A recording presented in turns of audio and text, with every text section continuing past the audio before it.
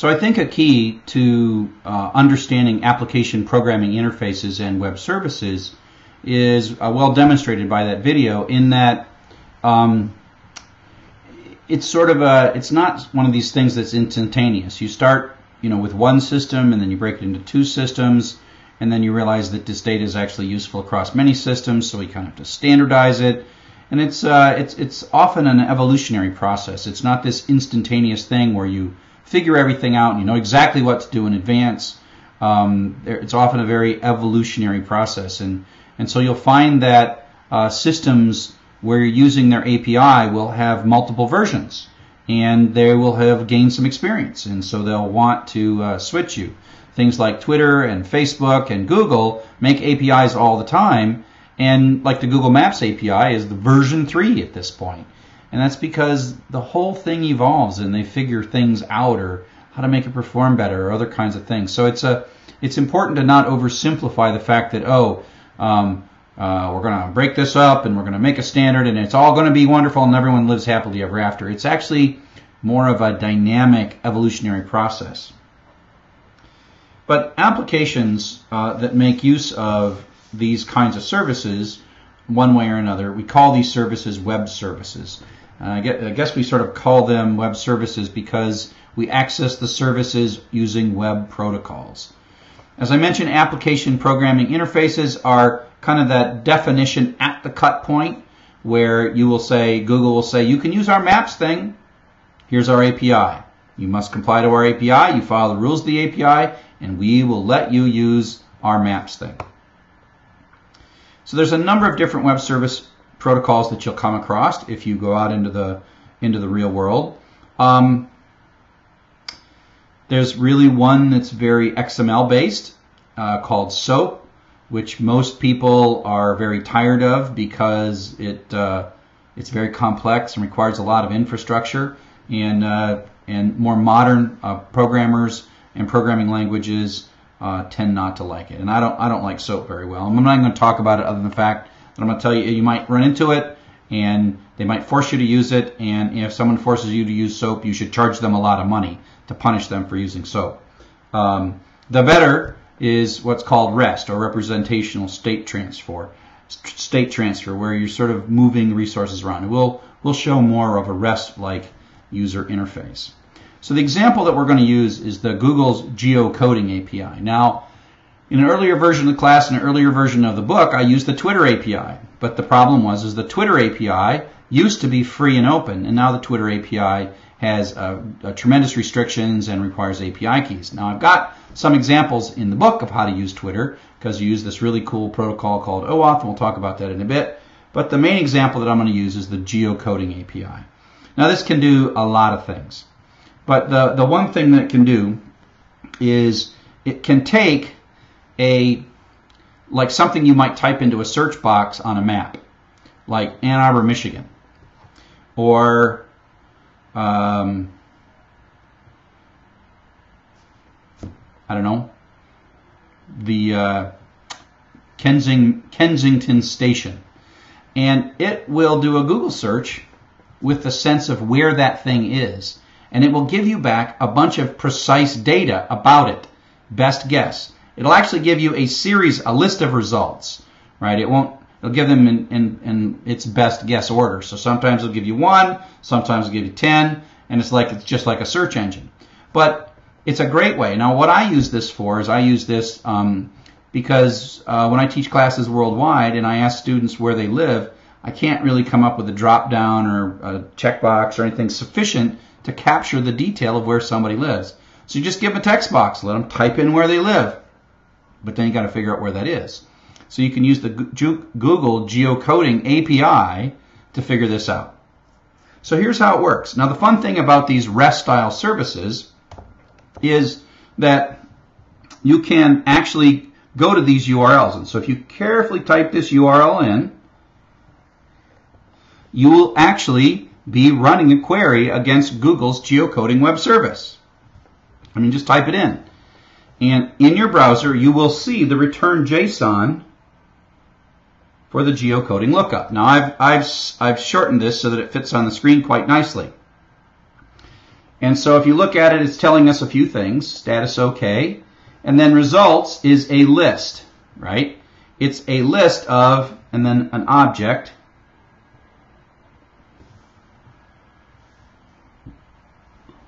And within that object, there is more objects.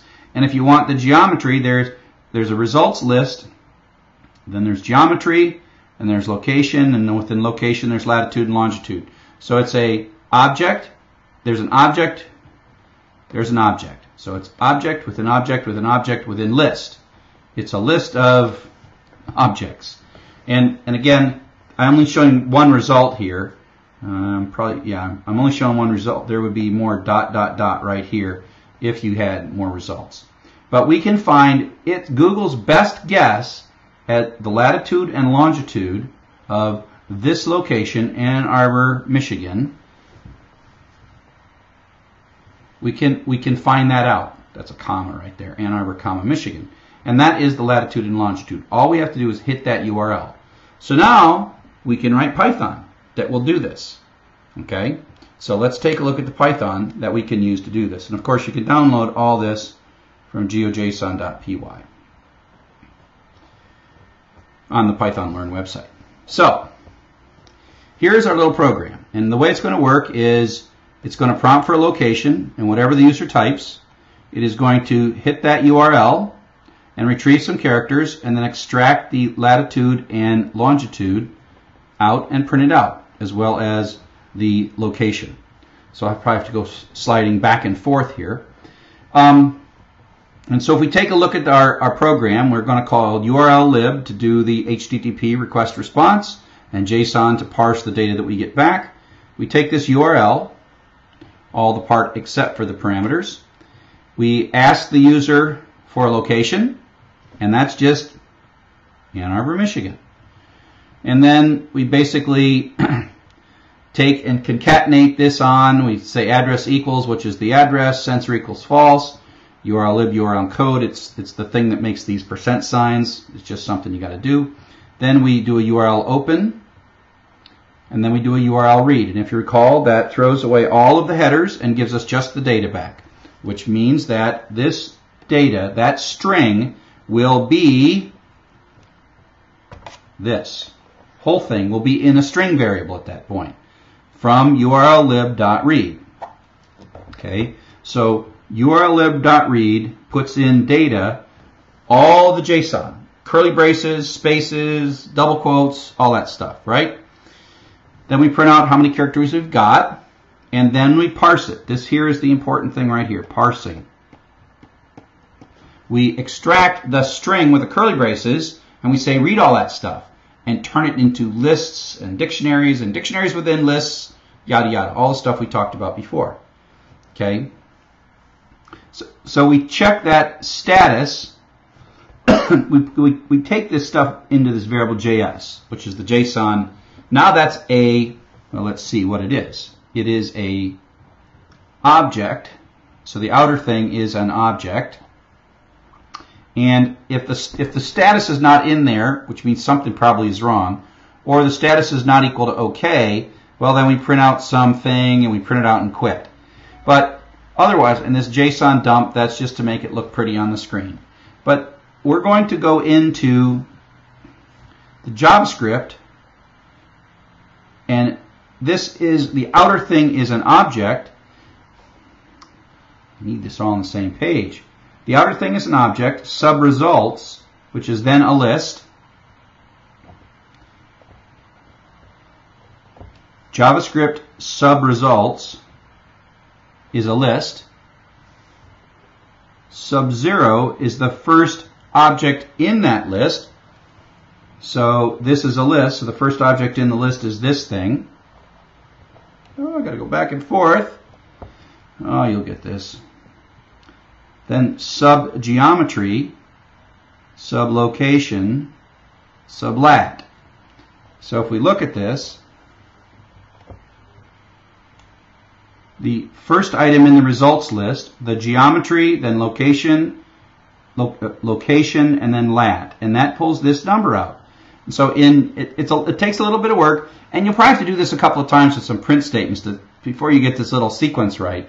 but you're basically with nothing more than square brackets, either square bracket string or square bracket number, with nothing more than square brackets here, you are parsing the JSON. You are you look at the structure of the JSON, you can look at lists, you can look at objects, you can pull keys out, and then if you have an object within an object within an object, I mean dictionary within dictionary within dictionary, you just key, sub key, sub key, and you're sort of digging your way down. And when it's all said and done, out comes the number, the 42.28, yada yada. And then I do the same thing for the longitude. And then I can go down and find the formatted address. And so this is all it takes to parse that JSON. So this is a little tiny search engine that's going to just ask for locations, and you can run it with various things.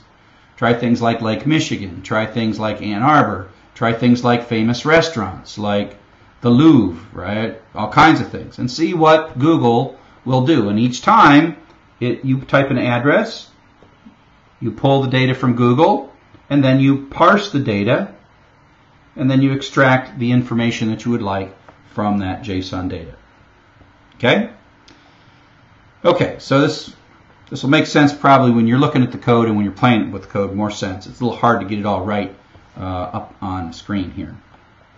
Okay, so I mentioned that uh, the, the, Twitter API used to be a public API, and uh, Twitter has decided that um, these resources are not free, and this data turns out to be really valuable. And they decided not to just give everybody in the world free, unlimited access to all the Twitter data on the planet. Too many people were making too good of money just sort of republishing Twitter data. So, Twitter at some point said, we're going to change the rules. Here's an API, and as of such and so a day, that's not the API anymore. Here's the new API. You can't call the API. We made it. We're going to shut it off. So Twitter basically has changed the rules, and everybody changes the rules. Google had a a V1 maps and a V2 maps and a V3 maps. Just they figured out things they wanted to do better in each successive version of the Google Map stuff. And so, you know, it's it's not like we should dislike them for this. It's nice to have these free services. So, one of the things that they tend to want to do in these situations is either rate limit the APIs or force you to, to establish identity so that they at least know who's giving the data, or they give you a certain amount and then give someone else a certain amount. So they won't, if you have asked to, for too much data, they'll shut you off. So they might have uh, various security things. So if we take a look at the the uh, documentation for Twitter, uh, now this is the documentation, sorry, for Google Maps. So the Google Maps API is pretty uh, friendly. You can do 2,500 requests per day. Okay, you don't have to have any kind of an API. Keeps track of all kinds of things it will tell you if you've exceeded your number of requests per day. Now the interesting thing is you're only supposed to use this API in conjunction with displaying them on a map. So that's a, an interesting thing. Now we're not we didn't display them on a map. We probably not going to get in trouble for doing five of them, but that's just an interesting thing to give you a sense of these APIs and their purposes and what these companies are expecting, how you how these companies are expecting to use it. If we take a look, for example, at Twitter, you have to go and um, learn about the Twitter API, and there's some special things that you have to do to uh, to make use of the Twitter API. So you uh, it, and you can read about this in this in this API documentations about authorization and authentication. So there's all kinds of data structures that you can look at, um, like tweets, for example. And so they give you a series of endpoints that you can talk to. And so, for example, this is a way to get the statuses and the mentions on a timeline. And then you get back the data in JSON format. And so here is an example of retrieving data from JSON. Okay, um, and I'll cover some of the security in a bit.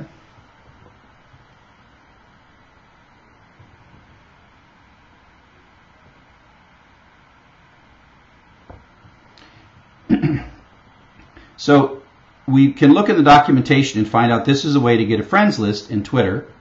We can prompt for a Twitter account. Then we can connect the Twitter account, the screen name, And then this little TWURL augment. This is a thing that I wrote that I'll, I'll talk about in a second that adds a bunch of stuff to this URL, which we'll talk about in a second. So, but then it hits this URL, it retrieves it, opens it, reads it all up. The headers, this is how you get the headers if you've retrieved the document using URLlib. And we're going to look for a header called the rate limit remaining. And it will tell you, this way, it will tell you how many calls that you have remaining before it's going to shut you off. Then we parse the JSON data, and then we read through the structure of the JSON data. Okay, and so I won't go into the exact structure of that JSON data, but that is reading through and parsing the JSON data. So if we uh, run this, this is what we see. It makes this long URL. It has a outer a, a, an, an, an outer object that has a user's attribute in it, and that's a list of users. And each user, we see their screen name, their regular name, their last status, etc., etc. And we can pull these things out. In this case, I just am showing like five of my friends and their most recent status. So, so if I can get the security right, I can pull out my information and print it out. So this is using the Twitter API. Now, Twitter wants to know who you are. Twitter uses a technology called OAuth, which is a way to sign web service requests with a signature in a way that data can't be sort of um, messed with by the man in the middle. So, so it knows that your application is actually authorized to see it. So there is a page that you go to when you sign in. And so to, to do what I'm doing here, you actually have to sign in on your Twitter account. And then what you do is you authorize an application. And I made an application called Python on my laptop. And then it gives you a set of keys and tokens. And so these keys and tokens are yours. Now you're, you're supposed to protect them because they're like your password to access the Twitter APIs. Now you can reset them anytime you like and you can revoke them anytime you like by just logging in on the Twitter account and then just going psh, get rid of the application or you can reset the keys. But at the end of the day, you go in, you log in, and you create, you grant permission to an application to your to use your Twitter identity, and then it gives you some keys to do that. Now, there's a file called hidden.py, hidden.py, where you are supposed to put, when you download these tools, if you want to run these Twitter examples, you have to put these in. Now don't check these into a public repository because these things are your identity.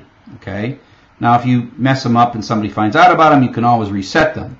So this hidden.py is use creating, you're creating a variable that has the four pieces of identity information that Twitter is going to demand to see to make sure that you are who you say you are.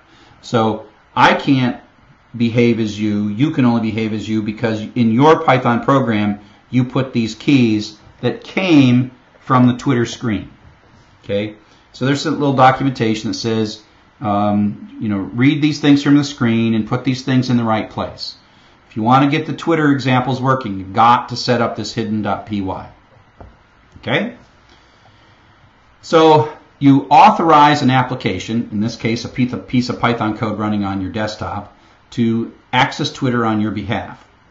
This is you, then each request has to be signed using a technology called OAuth. Um, and I should have a thing, um, OAuth.net is the documentation for this.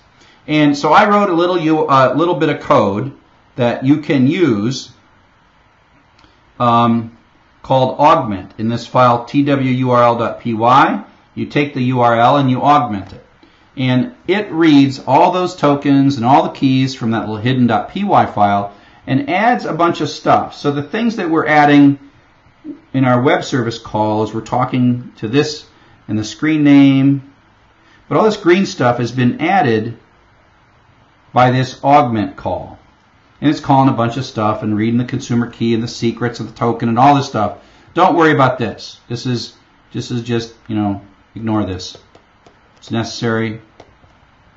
And just know that augment takes a URL that sort of looks like this and adds all this green stuff based on those keys and secrets that you put in hidden.py.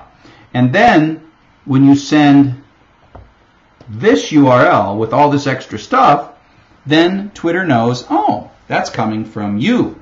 And now I will keep track and I will decide how many requests I will let you have. So you people who are not authorized or applications that are not authorized to read data, Twitter data on your behalf can't do it. This means it is authorized, but it also means that Twitter is deciding how much data to give you in a particular period of time. Okay, so you can uh, run those samples on your own. Uh, the book has some examples of how those things run, and you can take a look at that work. So, so in this in this lecture, we sort of got you started. We talked about uh, serialization formats, XML, JSON. We talked about sort of simple and basic parsing of both XML and JSON. Then we talked about XML schema, which is a way to build contracts around the exchanged XML to say this XML complies and this XML does not comply. Then we talked about service-oriented architectures where uh, we break an application up into multiple parts. Then web services. We talked about SOAP. Mostly I said I don't like it. Then we talked about REST, and we example, looked at uh, uh, two examples of REST APIs. One is the Google Geocoding API, which doesn't require any fancy security, although it is rate limited, and then looked briefly at the Twitter API that is both rate limited and requires OAuth security. And so uh, that kind of summarizes uh, our lecture on web services.